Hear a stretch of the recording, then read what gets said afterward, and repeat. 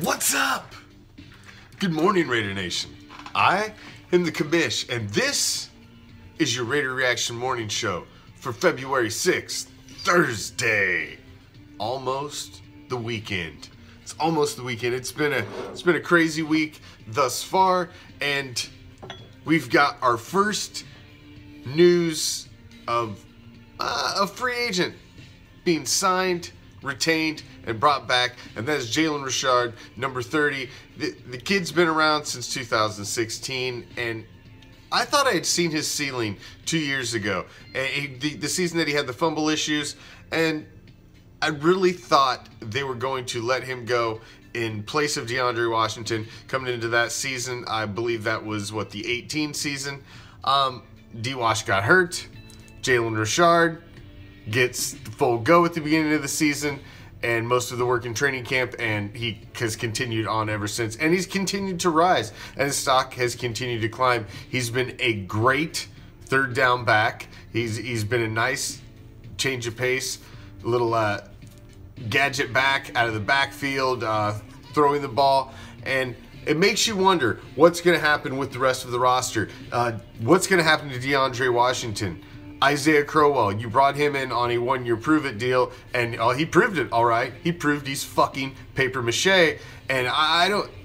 If you bring a guy in on a one-year prove-it deal, who who basically you're trying to prove if they can even stay healthy, and they don't, why would you even consider bringing that guy back? So I think you, you you don't even look at him. You've got Rod Smith sitting at the absolute bottom of your depth chart. He's really nothing. He he's a project. He's emergency back at best. So DeAndre Washington, I'm curious. I would really like to see him come back, and I'd like to see maybe you pick up some youth to stick in there with him, Richard, and Josh Jacobs. But first big news in free agency this 2020 offseason.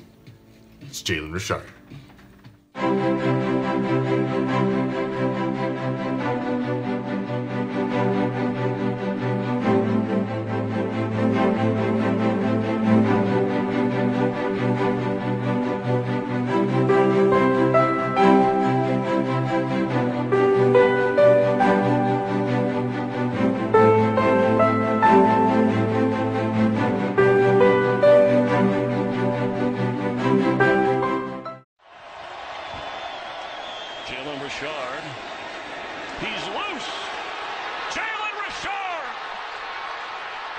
It's going to be a touchdown Raiders.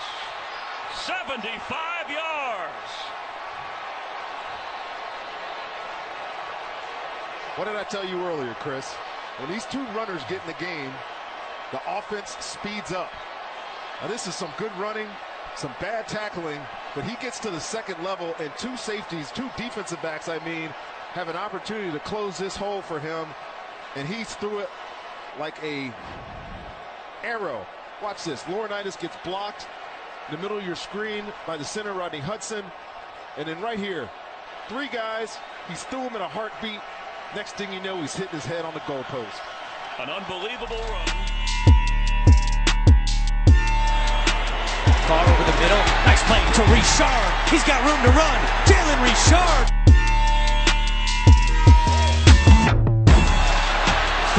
And wide open with the catch is Richard.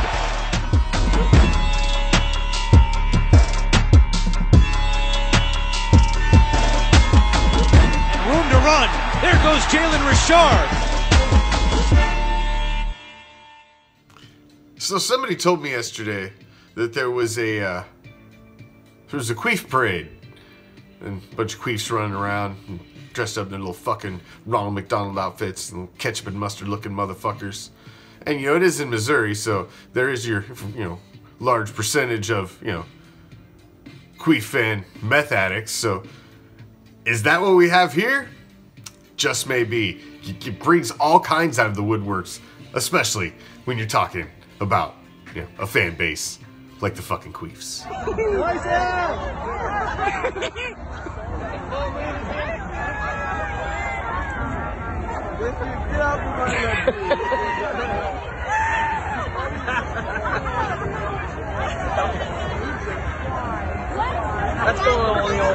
is better than the halftime show.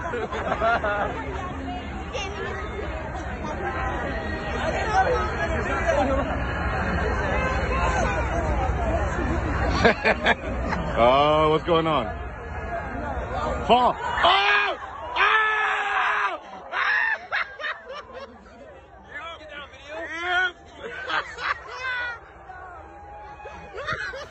I stumbled across this, and this was just gold. Uh, Stephen A. just fucking basically guts the entire uh, Chargers franchise and, in their ineptitude to a- basically even be a functioning franchise. Just, just a little slice of awesomeness I wanted to throw in the show. Check this shit out.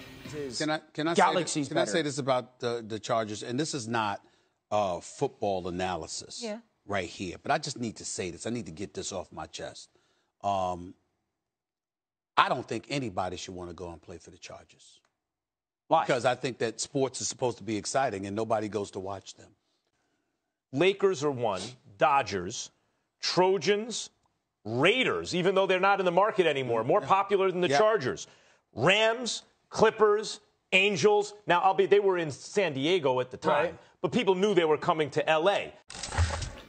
Time for Prime. Yo, this is Prime, and this is the Prime Cut. It's kind of funny, though. There's two big trades in sports. One of them being in Major League Baseball, where Mookie Betts, who was the MVP for the Boston Red Sox, gets traded to the Los Angeles Dodgers, along with David Price, who's a pretty good pitcher. And then in the NBA, the starting center for the Houston Rockets, Capela, gets traded for a swingman in Rodney Covington. Now, can you imagine if trades like this went down in the NFL? I mean, think about it. Some of your most important players suddenly gone, and I guess you, and you get some other guys in return, sure, you know, but like, imagine trading your MVP. Uh, I mean, it was two years ago, so imagine, imagine the Chiefs trading Patrick Mahomes this year in the offseason. Wouldn't that just be insane? You know why the NFL doesn't do those kinds of trades? You know why MVPs don't get traded in the NFL? Because the NFL is the greatest chess match there is in sports. You have 53 man rosters. You've got 11 men on both sides of the ball. And I tell you what, it takes all 16 games, all those practices, OTAs, all of that for those 22 starters and of course all the other, you know, third down backs and, and Mike linebackers and nickel corners and whatnot else. All, all those guys have to be on the same page. And sometimes it can take an entire season for that team to get on the same page. You know? I mean, can you really say that the teams in the playoffs, if you will, pick any one of them, uh, played, I don't know. I think they all tend to get better towards the end of the season. You know, all teams are playing better at the end of the season. At least they're supposed to, you know, barring in- injuries. So imagine trading your quarterback or your running back or just just mid season, you know, your starter.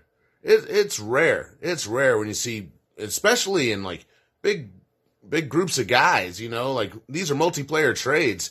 You know, the names I mentioned were just the headliners. There were still, you know, uh, I think it was a four team trade in the NBA. There was, I don't know how many teams were involved in the Major League Baseball trade, but I mean, there was more than two. I mean, wa- I mean, you couldn't have a four team NFL trade that contained MVPs in the NFL. That's just, you can't do it. You can't do it. But I tell you what, man, it makes it for the most exciting, uh, offseason. Well, I guess for uh, basketball and in baseball when stuff happens like that. I mean, that's just, uh, that's what's going to drum up those uh, viewers for those guys. In the meantime, the NFL just keeps on trudging along as America's pastime. I mean, even that major trade in Major League Baseball, which used to be America's pastime, was still, I don't know, second or third in line when it came to the sports news. So, you know, hey, The NFL is a whole nother animal, and it's a beautiful thing. Now, coming up soon, we have the XFL. I'm going to dig into the XFL, check out all those rule changes, tell you about all the big names that are actually, you know, playing and coaching. Like uh, Josh Jacobs, I remember quarterback from the, in, in, the NFL. I think he was in Tampa Bay for a minute. He's in the uh, XFL. I mean, Bob Stoops is coaching in the XFL. So yeah, there's that all starts this coming weekend. I got more of that coming soon. Cause hey, remember when I was like, bye football. Well, there's more football. There's spring football, and it's the XFL. Who would have thought? It's a brand new thing. Let's see if it lasts this time. At least past, I'm going to give it three seasons, and we'll see after that. Anyway, so you can't trade like uh, you can in other sports uh, the same way you do in the NFL, and football's not quite over. Anyway, that's my prime cut. I got my show coming up next week. I got to take it indoors because I tell you what, I am freezing right now. Have a great rest of your day. Prime out.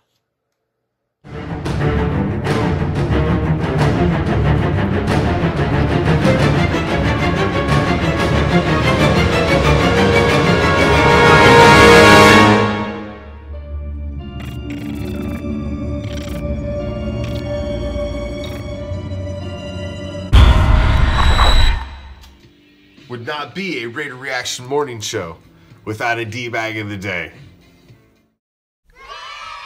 You, sir, are a fucking douchebag. I heard um these people out here that continuously Brady this, Brady that. Dude, for real? Whose team are you on? And you know exactly what he did to us, and here you are like, oh yeah, we want him. No, we don't fucking want him. So douchebag of the day goes to all them damn losers requesting Brady. Get the fuck out of here.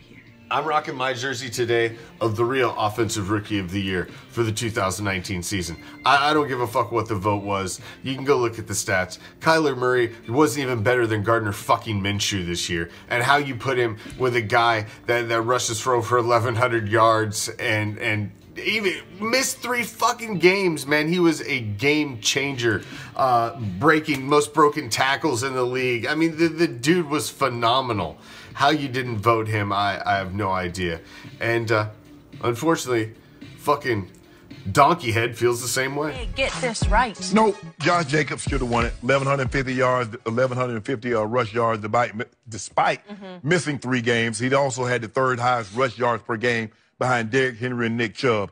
And the Raiders went from four wins to seven, mm. and uh, Cardinals went from three to five and a tie. Mm, that's uh, pretty good. Yeah, pretty good. It ain't better with the Raiders.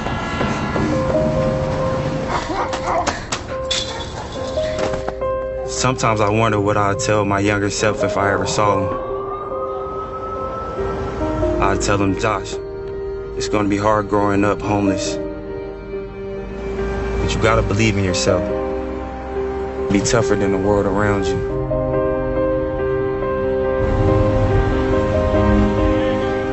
In that field, that's your proving ground push yourself to be someone. And I promise someday you will.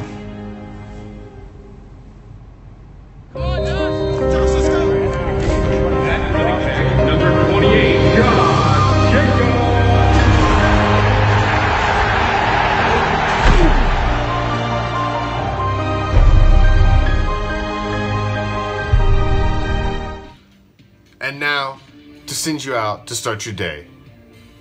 We wrap up today's morning show with the Raider. Quote of the day Football is easy if you're crazy as hell. One of the greatest athletes to ever grace the field, the one, the only, Bo Jackson. Have a kick ass day, Raider Nation. Until next time, I'm out. Peace, love, Raider Nation.